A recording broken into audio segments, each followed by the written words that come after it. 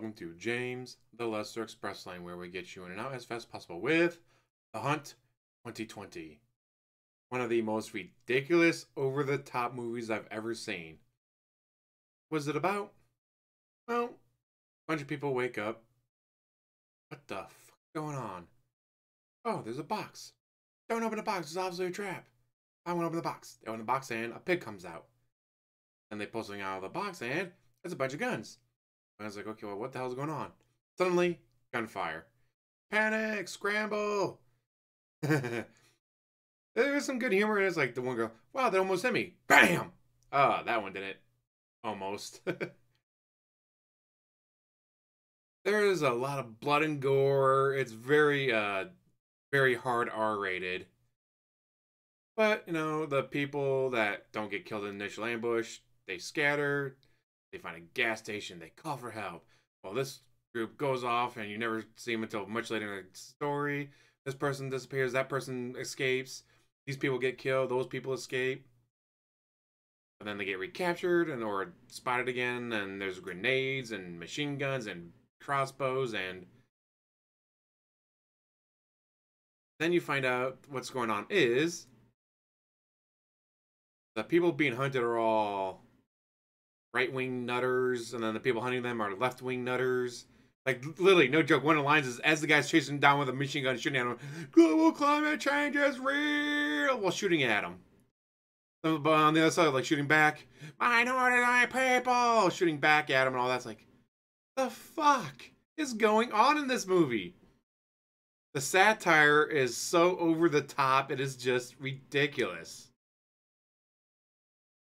Now going in, it's like, all right, well, obviously someone survives.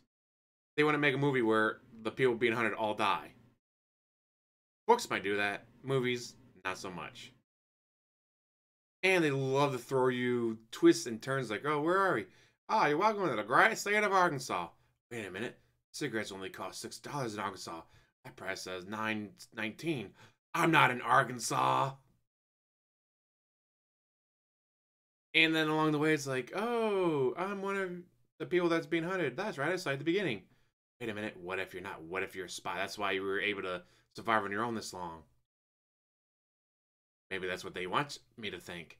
What if that is what they want me to They wanted to think that they want me to think that they want me to think.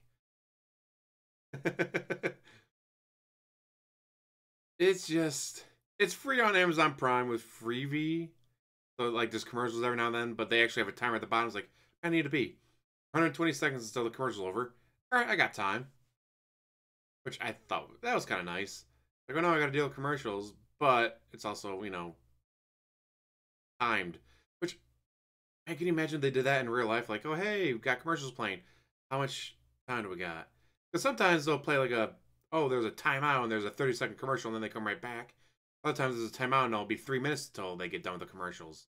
Especially having a timer on it, not bad. And you know exactly how long because they weren't all 120 seconds. Some were 80, 90, 60. Hmm. I'm going on too much about the commercials, but it's just the actual story itself. The twists and turns aren't as predictable as the ending. Like I knew the ending is like, all right, at least one of these people is gonna win. Which one? Or gonna survive? Which one's going to survive? And it's just like you know, you got the people doing the hunting. It's like, oh, uh, uh, we, we can't we can't pick that. Uh, there there's a scene where it's like, oh, we pick this person. Oh yeah, they're in. Oh, picture them like with a dead around the hunter. Like, oh yeah, he's definitely in. And I was like, whoa, whoa, whoa, we, we can't have a minority in this. Like, but I, I feel it'll be exclusionary and racist if we don't include at least one minority. it's like, what the fuck? Like, it, it hits both sides with just over the top stupidity. Like, is it racist for us to hunt a minority? Is it racist for us not include at least one minority to hunt and kill? Then on the other side, it's, ah, oh, that ain't no soldier. That's got to be one of them crisis actors.